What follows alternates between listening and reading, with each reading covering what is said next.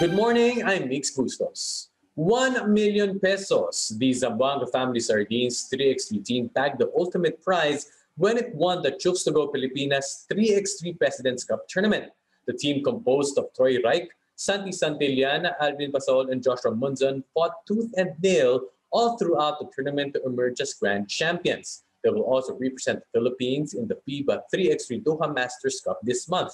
And Alvin and Joshua now join us on ANC. Now we have the champions of the latest leg of the Chooks to Go 3x3 Pilipinas President's Cup. Congratulations, Zamboanga Family Sardines. Thank you so much for joining us here this morning on ANC. Josh, uh, being the number one ranked player, how are you feeling? What was that like? How was, can you take us through that championship, the, those final moments in the championship game, Josh? Uh, I mean, it was definitely exciting. It was a tough battle. Uh, all all the legs were tough battles for us, but you know, it felt it felt really good for us to set a goal and accomplish that goal, and uh, you know, wouldn't be able to be there without my teammates. So you know, without them guys pushing us, it, it was, you know, it was definitely exciting. It was definitely. Josh, I was uh, I kept on watching the highlights over and over because of that a big shot that you had. Can you take us through those final moments? Uh, although Alvin, I know there were crucial free throws, pero how did you pull it through, Alvin? Paano nyo nalagpasan yun, yung mga final moments ng last game? Uh, yun nga, uh, siguro yung uh, sa free throw, yun nga, isa sobrang pagod na dahil sa sobrang ano ng tournament. So, uh, yun na, uh, we have a game plan na ano, uh, we stick together, uh, we play what no matter what happens. So, uh, I, uh, I miss I missed the free throw, uh, nagkarambola, I get the rebound, I pass it, I I pass to Josh, then he shoot the two-point shot. Uh, ano, uh, ano lang, stick lang kami talaga sa ano namin na uh, ginagawa namin na syempre si Josh yung main scorer namin ngayon. So uh, we'll keeping ano uh, give him the ball all all the time. Uh, kami roaming around lang kami, set screens, uh, kung ano lang kailangan namin ipuno sa team namin, yun lang kailangan namin gawin. Kasi si Josh is, ano, uh, siya na yung ano eh, uh, siya na bahala sa iba. Mm. Josh, not everybody gets to have a chance to have a winning shot for 1 million pesos. Can you take us through that moment when you were up against Jai, you had that ball, time winding down, and for the last shot? Uh, yeah, I mean, Jai didn't really close out to me. He gave me a lot of space. So, I mean, I had a lot of, I mean, I was that's what made me shoot the ball was he didn't close out. You know, he closed out short, so I felt comfortable enough to take the shot, and uh, you know, it went in. It's one of the shots that we've been, you know, I've been taking all, all, all the whole legs, and my teammates are confident enough for me to pass. The confidence in me enough to pass me the ball. So I mean, it just was uh, it was meant to be, I guess. Mm. Now, Alvin, can you describe this President's Cup? Kamusta yung competition tsaka yung physicality nitong cup na to, nitong ah. conference na to? Uh, it's different to ano uh, last year it's different for the last year because uh, because the all teams in the bubble is so competitive they're so strong uh, every every every leg uh, ano it's tougher to us to get the wins because yun nga uh, they're tough uh, tough guys tough players uh, almost them, they go to PBA na. So, ayun, mga pro na talaga sila eh. So, yun lang yung problema kasi yun nga, bago lang sila nakalaro ng 3x3. Uh, so kami, we played a lot of uh, 3x3 the, ano, uh, na, uh, sa ibang bansa. So, ayun, sobrang ano lang talaga, uh, sobrang competitive nila ngayon this season. So, so nagkaiba yung season last year tsaka ngayon dahil yun nga, uh, malalakas yung mga teams eh. Uh, tsaka hindi sila nagpapatalo. Why do you think so, Josh? Where did that where did that physicality come from? All of a sudden, everybody was flying left and right. That's Alvin said, yeah, it was different from uh, the last years around. Uh, I think just the level of competition. I think the guys came in and they, you know, they they knew that we were the team to beat, and I think they just they wanted to be as physical as possible with us, try and uh, take us out of our games. And then, you know, I think it's always going to be a fight when you fight for a million pesos. I think it's always things are always going to get physical out there. So I mean, the prize money itself was a, was enough to you know, make things physical out there. So I mean, hey, we, Yeah. we welcome you. We welcome you. Well, uh, basketball fans were happy and thrilled na to watch uh, those two weeks. Of course, the President's Cup. Pero Alvin, uh, you've, you, you guys have been around, your team has been around for a while. Uh, kamusta naman kayo nag-prepare bago nung tournament? Um, ano ba kayo? Magkakasama ba kayo in a way? Or nag-zoom ba kayo? Or what? How was the preparation like for your team? Ah, kasi yung ano, ah, first two months namin, ah, yun nga, nagpa-practice kami. So, we have ano, ah, Zoom meet, ah, Zoom meeting, Zoom workout ah, every every day para yun nga ah, keep in condition yung mga bodies namin. So, pagkatapos na nung ah, lockdown na yon, so bumalik na kami sa practice namin. So magkakasama kami ev- every day magkakasama kami, may weights training kami. ah may cardio kami. Lahat ginawa namin para dun sa tournament na yung tournament na gagawin namin sa ano sa ah, sa bubble. So kaya nga kailangan din namin gawin 'yon dahil yun nga may mga mga qualifiers kami na pupuntahan. So prepared lang talaga kami para ano ah para sa condition namin para sa OQT din yun din yung gagawin namin. Saka training ground din sa amin yung nasa bubble kami para ma-practice kami kasi matagal nga almost seven months kaming walang basketball eh. So ah ayun nakatulong sa amin yung bubble na yun para sa ano ah, papunta kaming Olympics ni Josh. Now, for the benefit of our reviewers who are just getting introduced to the 3x3 competition, this is way different from the 5 on 5. Josh, I want to get this from your perspective. Uh, we've seen you around in the APL competing overseas, and then you're here focusing on 3x3. What was the adjustment for you from 5 on 5 to 3x3, and why are you focusing and pursuing this path now? Uh, I mean, the difference would just be the, the style of the game. I think the the the strategy the, from a strategic test from a strategic standpoint, three x three is a lot different from five on five just because of the way you score uh, score Kumakain na ba ng lumpiang sa ones and twos, and then five on five and twos and threes. And so, I mean, just just I mean, I think in all aspects of the game, the physicality, it's it's a different style of game. So I mean, I definitely focused on three x three just to you know get us to the OQT. That's been you know my main goal, my main purpose with joining uh, with joining the three x three basketball was just you know reaching the Olympics, and uh, to get us to that point is uh, I think a big accomplishment, and, and and you know get us to the OQT is even you know that that's to win there is definitely going to be it's going to take a lot. I take a lot out of us. Mm. Now, as I mentioned, Josh, uh, you were, of course, you know a mainstay in the ABL, uh, in the ASEAN Basketball League. Played for for different teams and as a main option for those different teams. Josh, uh, maybe if I may ask from your perspective, yeah, from why did you shift to 3x3? Maybe you can elaborate on that more, and at the same time, how was it like rather? Uh, from the five on five when you were competing in the ABL, and what kind of satisfaction gives to you now that you're focusing on 3x3? Uh, I mean, it, it, it was a, a, great, opportunity for me to, you know, expand my game and, and, and, you know, still get to travel, still get to travel and see different parts of the world. And, you know, 3x3 is, is, uh, is a different, you know, it's a different, it's not, I mean, it's basketball, but it's a different sport from 5 on 5 completely. But I mean, for me, it's just, I don't know. I like basketball, and it, it was a great opportunity. I think. I think it, it was an opportunity I could pass up. You know, if you add the fire in there, it's not an it's not an opportunity that I come around often. So I mean, for me, it was the opportunity itself that made me make the change the five and five. I mean, from five and five to three x three, because you know you never know when I, you're going to get the chance to you know represent the country and, and be on a, a part of dealers. So I think that that alone was my my driving force, and you know I think it's worked out so far, and and you know, hey, no, no complaints, no complaints. Yes. And you are the number one ranked player uh, in the Philippines when it comes to 3x3. Alvin, ganun din ba? Para naman kay Alvin, Alvin is ranked number two. But then, of course, basketball fans got to know you, Alvin, from the Uni Red Warriors.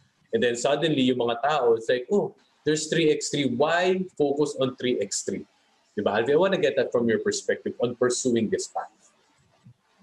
Ah, yun nga, ah, kasi yun, nag-open din yung door ng 3x3 sa akin. So, ah, nag-reach out sila sa akin ako pwede ka ba maglaro sa 3x3. So, I I I play first pong bataan. So, yun, para nakita kami nila Boss Mel, nila Boss Ronald na ay, pwede ata sa 3x3. So, sabi ko, why not? Itatry ko yung 3x3. So, syempre, ah, yung first timer, syempre, di pa namin alam kung paano laruin yung 3x3. So, parang, ah, okay lang bang laruin to or ganyan? Kaya ba natin mga Pilipino? Kaya ba namin? Yung mga ganon na instinct. So, doon natin sa point na nasayahan ako sa 3x3 dahil yun nga, ah, sobrang suporta sa amin ng Chooks. Uh, Labos Ronald, sila Boss Mel, lahat ng staff ng Chooks.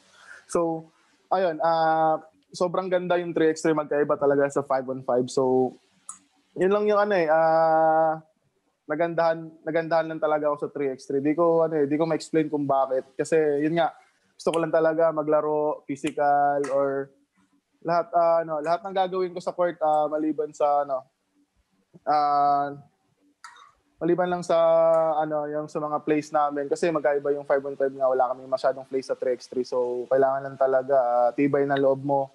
Tsaka ano ah, play hard ka lang talaga always. Nagkaroon ba ng, Alvin, nagkaroon ba ng difference, at least for the people around you? No, especially ngayon na, ito yung napapanood natin, yung 3x3, di ba? Paano naman yung appreciation ng tao sa nakikita mo from your perspective ng 3x3?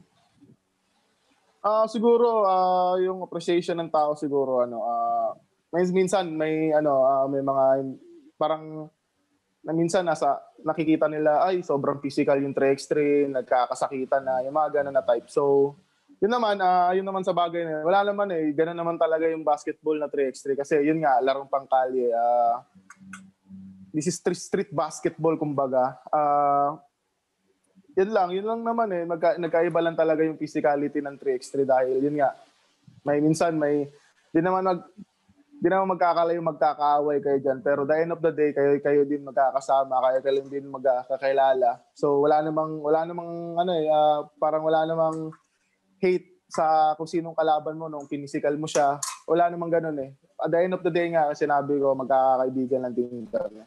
Now, speaking of physicality, Josh, uh, for you, who was the toughest team that your team has faced in this league and why?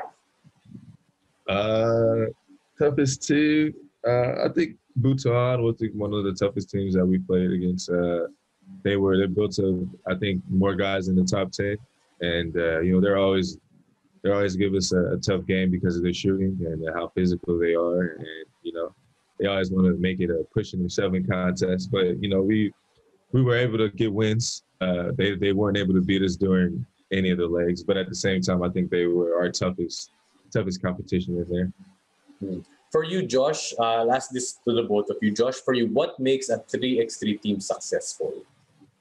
What makes you win games? I think it has to be, you know, everybody's being on the same page, uh, being clear on what the goals are, and and just staying together out there. You know, I think it's a big chemistry is a big thing in 3x3 because it's it's you guys out there. There's no coach, and you guys when things go bad, you guys got to figure it out together. And, and you know, you have to you have to lean on each other when times are bad, and, and, and even when times are good, you guys got to, you know, mellow each other out. So I think chemistry and, and, and being together out there is the biggest important thing in, in, in, in 3x3. Hmm. Alvin, bukod sa chemistry, para sa'yo, what makes a 3x3 team successful?